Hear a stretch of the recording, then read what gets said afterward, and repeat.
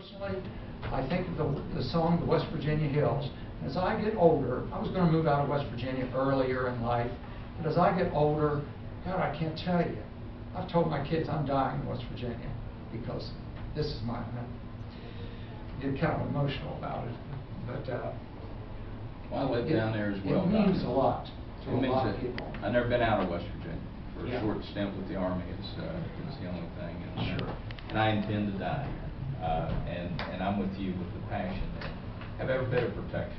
I just need to get you a new dictionary so you quit, uh, Yeah, so we're, rid of the time on. we're having the discussion as to where we draw the lines. Uh, But we feel that once you, once you destroy that mountain, you're not putting it back.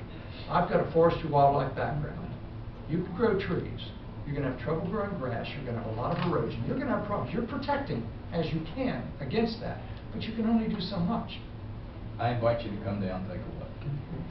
I'd like to see it Don't long term. twenty thousand feet. And Come see, from a lot of people, from my point, we're all going to die, we're not gonna live forever.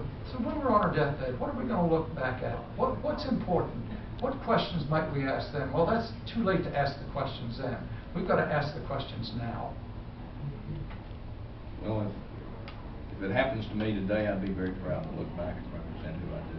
I, I can tell you that. Uh, Tourism, let me, let me mention, the Hatfield McCoy Trail is probably one of the most vibrant tourism, uh, pieces in southern West Virginia, and it